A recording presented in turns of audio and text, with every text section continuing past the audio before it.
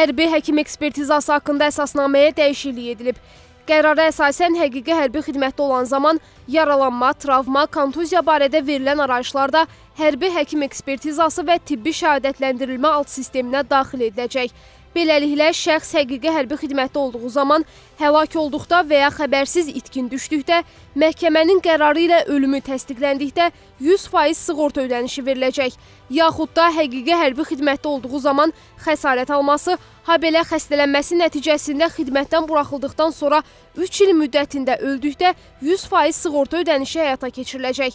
Eyni zamanda şəxsin hərbi xidmətini yerinə yetirərkən xəsarət aldıqda, yaxud da xəstələndiyinə görə xidmətə yararsız hesab edilərək ehtiyata buraxıldığı gündən 3 il müddətində əlilliyi müəyyən edilir. Bu zaman əlilliyin 40% itirilməsi 3, 60% itirilməsi 2, 80% itirilməsi isə birinci qrup təyin edilir.